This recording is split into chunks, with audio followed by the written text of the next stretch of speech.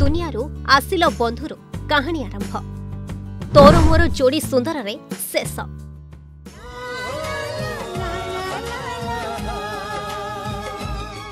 ବିବାହ ବନ୍ଧନରେ ବାନ୍ଧି ହେଲେ ସବ୍ୟ ଅର୍ଚ୍ଚିତା ରିଲ୍ରେ ଫେମସ୍ ଯୋଡ଼ି ହେବେ ରିଏଲ୍ରେ ସାତ ଜନ୍ମର ସାଥୀ ରାଜସ୍ଥାନରେ ଡେଷ୍ଟିନେସନ୍ ୱେଡିଂ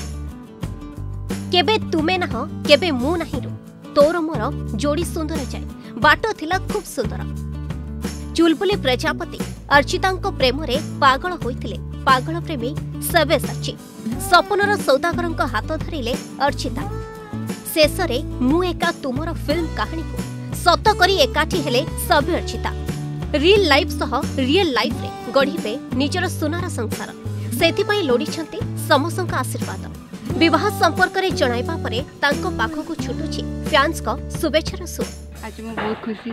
କାହିଁକିନା ଆଜି ମୋ ଭାଇ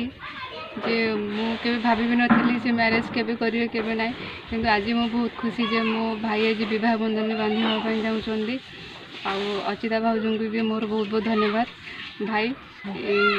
ମୋତେ ଏତିକି ଅଫସୋସ ଲାଗିଲା ଯେ ତୁ ମୋ ବାହାଘର ମୋତେ ଜଣେଇଲନି ତଥାପି ମୁଁ ମନ ଦୁଃଖ କରିନି ମୁଁ ଜଗନ୍ନାଥ ପାଖରେ ଏତିକି ପ୍ରାର୍ଥନା କରୁଛି ମୋ ଭାଇର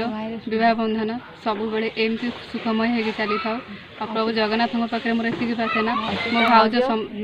ତୁମକୁ ସବୁବେଳେ ତାଙ୍କ ପଣ ଦୋକାନ ଘୋଡ଼ିଏ ରଖିଥାନ୍ତୁ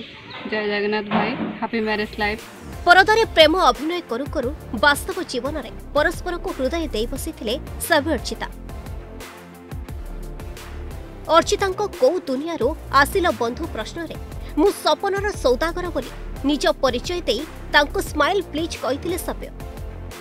ତାପରେ ଅର୍ଚ୍ଚିତାଙ୍କ ପାଉଁଜି ସ୍ୱରରେ ପାଗଳ ହୋଇ ସେ ସାଜିଥିଲେ ପାଗଳ ପ୍ରେମ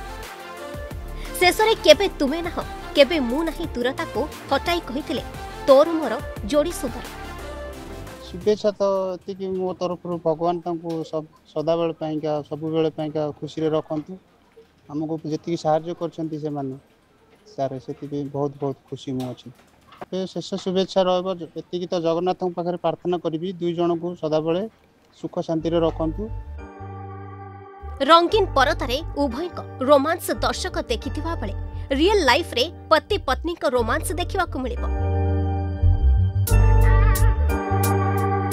ବ୍ୟୁରୋ ରିପୋର୍ଟ ଅର୍ଗସ ନ୍ୟୁଜ୍